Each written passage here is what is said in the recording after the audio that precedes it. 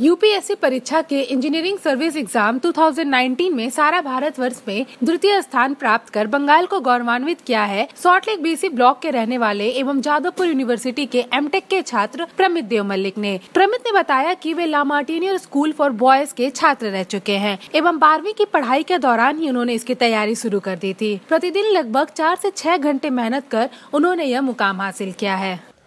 দেখুন মেন যে ফোকাস হচ্ছে ভালো করে রিভাইজ করেছিলাম আমার নিজের ক্লাস নোটসগুলো প্রিভিয়াস ইয়ার কোয়েশ্চেন্সগুলো করেছিলাম, আর আমি অনেকগুলো টেস্ট সিরিজ দিয়েছিলাম। প্র্যাকটিসটা চালিয়ে রেখেছি আর ফোকাস করেছিলাম যে আমি এটা টার্গেট ছিল আমার একটা। টার্গেট হচ্ছে আমি ওই Indian রেলওয়েজে Indian Railway Service of Engineers join করে আমি রেলওয়েতে কাজ রেলওয়েতে কাজ করব।